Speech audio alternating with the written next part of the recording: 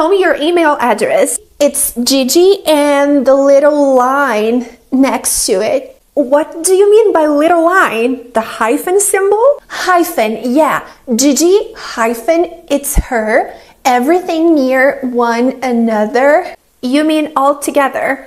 All together, yeah. No uh, comma, no apostrophe.